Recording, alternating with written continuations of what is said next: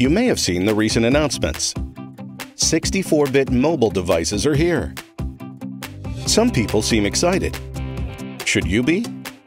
More importantly, does it make sense for you to upgrade to a 64-bit mobile device? If you're wondering about that, then this video is for you. So, what is 64-bit computing? Compared to today's 32-bit mobile devices, a 64-bit microarchitecture can process twice as much data at a time because it's twice as wide. And that can mean faster multitasking and faster performance for data-intensive apps. But a 64-bit mobile hardware platform is just that, a platform. It requires a 64-bit operating system and 64-bit apps, Plus, the tasks that you perform need to be demanding enough to even take advantage of 64-bit computing.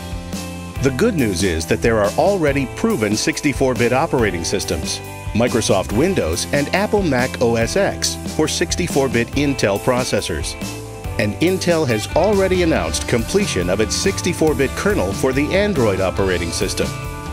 So when you decide that 64-bit mobile computing is right for you, be sure to look for a device based on a microarchitecture with a rich, proven 64-bit history and ecosystem to support it. That way you can realize the full potential of 64-bit mobile computing.